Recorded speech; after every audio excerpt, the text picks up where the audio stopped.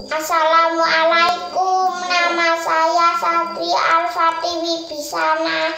Saya sekolah di TK Abakalang Harjo. Saya mau menghafalkan surat